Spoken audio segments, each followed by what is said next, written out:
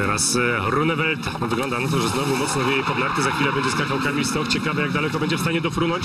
Na razie popatrzmy na byłego wicemistrza świata w lotach. On też potrafi wykorzystać takie warunki, też potrafi poszybować daleko i jest za 140 metrem lądowanie.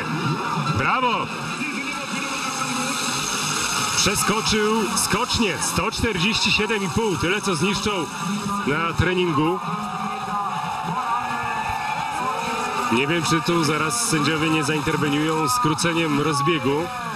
Jeśli miałyby się takie warunki wieczne utrzymać, to Kamil będzie skakał już z rozbiegu nieco skróconego. 147,5.